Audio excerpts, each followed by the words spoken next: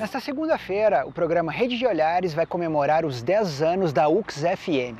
Vamos receber os comunicadores aqui de Caxias, de Bento e Vacaria. Com uma atração musical, Clayton e Cledir. Participe da nossa conversa, nesta segunda, às seis e meia.